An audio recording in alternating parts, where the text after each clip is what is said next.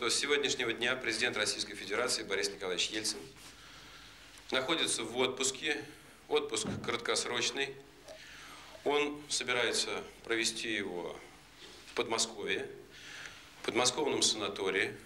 Название санатория не в секрете, это Барвиха.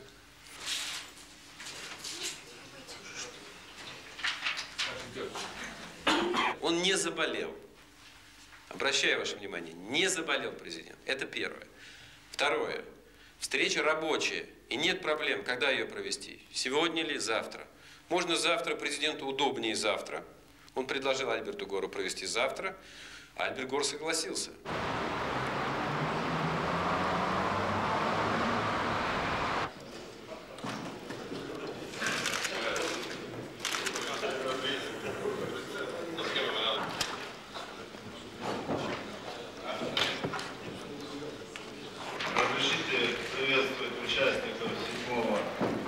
седьмой сессии Российско-Американской комиссии, которую в порядке очередности мы сегодня проводим в городе Москве. Виктор Николаевич, министр сельского хозяйства. Салтанов Юрий Павлович Александрович, председатель Комитета России. Шаталов Анатолий Тимович. It is a great pleasure to be back in Moscow and to return to our Commission's important